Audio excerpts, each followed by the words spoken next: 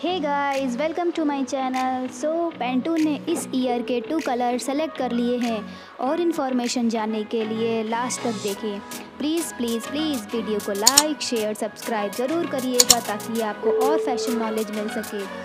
जी हाँ जैसा कि आपने सुना पेंटून ने two colour of the year select किए हैं। फ़र्स्ट इल्यूमिनेटिंग जो कि येलो का ही शेड है लाइक लेमन शरबत और दूसरा अल्टीमेट ग्रे ये दोनों ही कलर इस साल बहुत ज़्यादा ट्रेंड और पॉपुलर रहेंगे, चाहे वो फ़ैशन की फ़ील्ड हो या इंटीरियर या ग्राफिक अगर आप सभी लोग फ़ैशन से जुड़े रहते हैं तो आप इसको किसी भी कॉम्बिनेशन में वियर कर सकते हैं। इस कलर के फुटवियर भी बहुत ट्रेंडिंग होने वाले हैं। ब्यूटी फ़ैशन में भी इस कलर को बहुत तरीक़ों से यूज़ किया जा सकता है।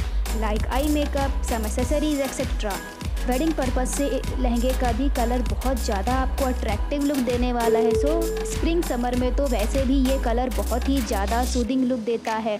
तो आप सभी लोग ये कलर इस ईयर ज़रूर ज़रूर ट्राई